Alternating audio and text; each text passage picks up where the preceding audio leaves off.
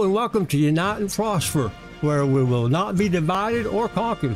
While you're watching this video, be sure to hit that like button, subscribe, and share, share, share. In the 1950s, Venezuela was the fourth richest country in the world per capita. Today, they're ranked at 156th, which is just one behind Uzbekistan, which is ranked at 155th. Venezuela went from one of the richest countries in the world to today where citizens are breaking into zoos to kill animals just so they can eat due to no food being at their once very well stocked grocery stores. Well, what happened, you might ask? Well, if you don't already know, let me give you a quick history recap. Hugo Chavez served as the Venezuela president from 1999 till his death in 2013. Chavez helped formed the United Socialist Party of Venezuela. And when Chavez took over Venezuela, his socialist government took over the once free markets like food industries, housing, education, healthcare, things like that. And then as the decline of their finances started to accelerate, in only one decade's time, Chavez declared an economic war on the upper class, blaming them of taking all the goods from the lower class. So, does this sound familiar? Blaming the food industries, the top 1%, private health care. Can we say Kamala and the Democratic Party? well, Kamala isn't just playing the blame game, blaming everyone but herself for our outrageous inflation rise. Nope. She's actually taken the pages of Hugo Chavez's playbook. And I will work to pass the first ever federal ban on price gauging on food. My plan will include new penalties for opportunistic companies that exploit crises and break the rules. I think that's gouging, not gauging. Well, maybe it was spelled wrong on our teleprompter. but anyways, controlling prices like groceries, housing, education, saying the rich need to contribute more, just like in her own words, even though we all don't start from the same place, we should all end up at the same place, right? We have always fought for equality. But now we are also talking much more rightly about equity, understanding that we must be clear eyed about the fact that, yes, we want everyone to get an equal amount. That sounds right. But not everyone starts out from the same place. Some people start out on first base, some people start out on third base. And if the goal is truly about equality, it has to be about a goal of saying everybody should end up in the same place. And since we didn't start in the same place, some folks might need more. This is about equity. And whether or not we are truly committed to the principles of equity in every way that we as government and as a society can enforce those important principles. That's right. Equity. No matter if you try, no matter if you don't try, Everyone should succeed, no matter if you studied or if you didn't study. Everyone should get that A on the report card. Well, that's her meeting of equity. Now back to her financial plan. Basically, this penalizing of prices for your groceries takes away the free market that helps the economy grow and puts it into the hands of the government, which kills the economy. Just as the people of Venezuela, Cuba, the former Soviet Union. It's not the grocery stores that are price gauging, uh, I mean gouging. It's the government spending trillions of dollars on useless programs and useless regulations, which can make prices skyrocket, which is what we've been seeing since 2020. How do you think the food gets to the markets? They don't just magically appear like in the back room the producing them or something. It all comes from farmers and manufacturing plants. And these farmers use fuel to plow, plant, pick, you know, the three P's, and then transfer their food to the markets, which means it costs them more to produce their food due to the high cost. So they have to fluctuate their prices to coincide with their price of production. Grocery stores aren't price gouging anything. They're hurting us just as much as you and I. The average profit for a grocery store receives about one and a half cents per dollar. The free market, even though it's always hated by the left, is the best market on this planet. It's what made this great country the richest and strongest country in less than 150 years. But Harris doesn't just want to go after so called big grocery, she also wants to give away more of your money. And I will work as president with states like here in North Carolina, Roy Cooper, thank you again, to cancel medical debt for more and more, millions more Americans. So let's see. Pay off your medical debt, student loan debt, so much free stuff. Well, free to the receiver until they got to start paying taxes too. I wonder what else you can come up with to spend your tax dollars on. We also know that as the price of housing has gone up. Hold on there, Miss Vice President Harris. uh, she seems to have forgotten or didn't want to remind anybody back, you know, around 2020, 2021, the plywood incident going from, you know, $400 to $1,500 for a thousand square feet, you know, roughly about uh, 13, you know, just for one sheet of plywood, yeah, going from $13 to $50. Yeah. Don't forget about that, Kamala. Continue.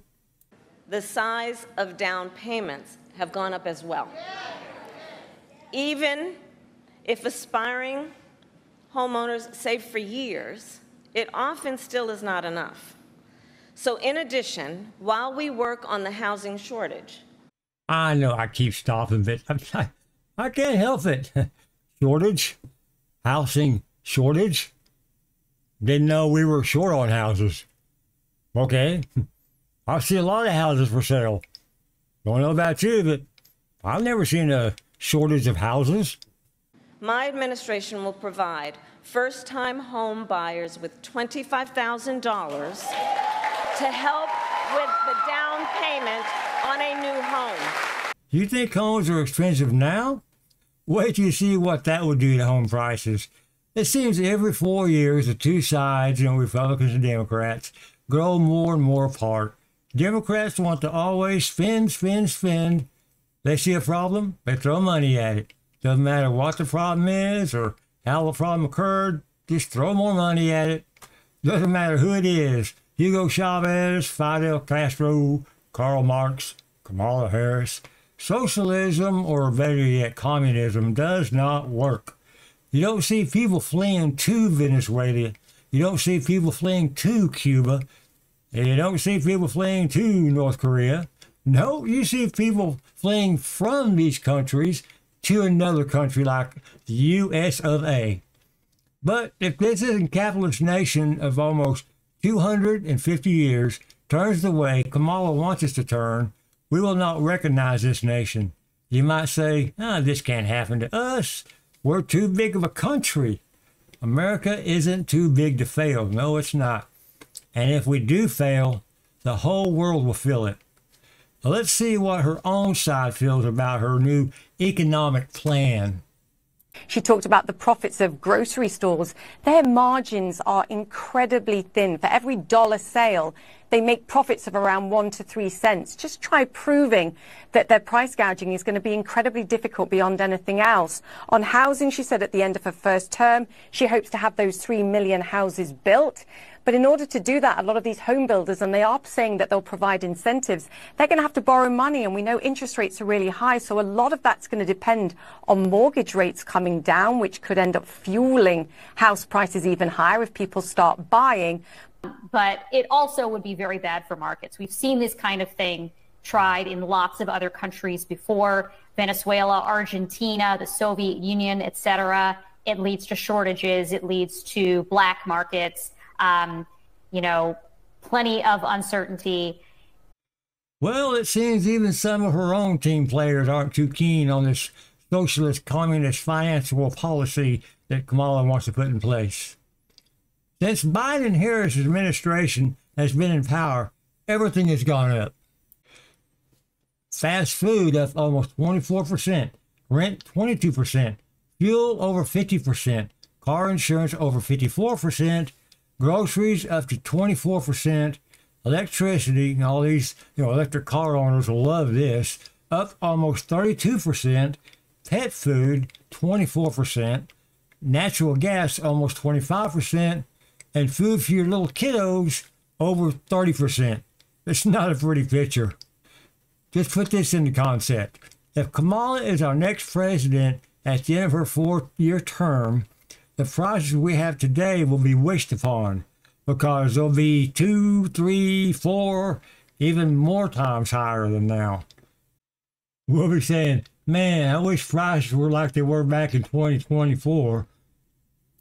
But I guess it doesn't matter what the cost of food will be if we don't have much at all, or if any, to even purchase.